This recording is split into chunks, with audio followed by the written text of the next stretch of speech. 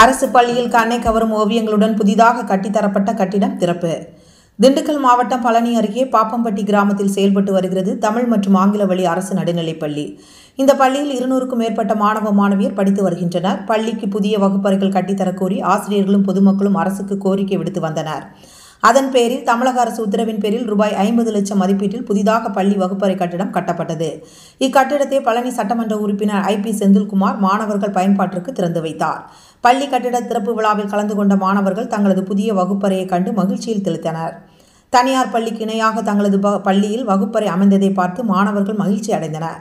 புதிதாக கட்டப்பட்ட வகுப்பறை கட்டிடத்தில் மாணவர்களுக்கு எளிதாக பாடத்தை கற்பிக்கும் வகையில் வண்ண வண்ண ஓவியங்கள் உயிர் எழுத்துக்களை பாடங்களாகவும் மெய் எழுத்துக்களையும் சூரிய குடும்பம் தேசிய சின்னங்கள் போன்றவையை பல்வேறு வண்ணங்களில் படங்களாக சுவர்களில் வரைந்துள்ளனர்.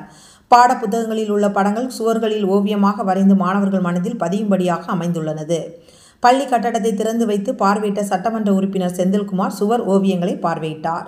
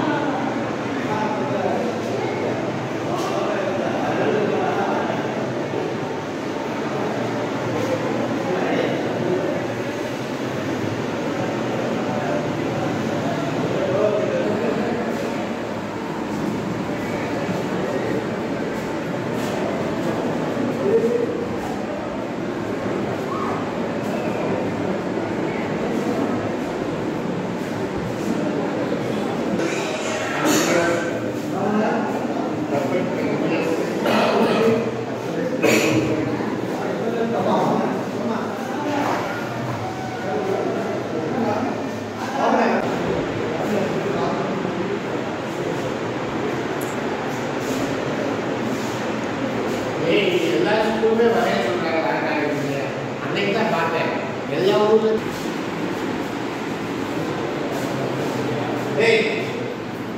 क्या ये बात है? ना गलती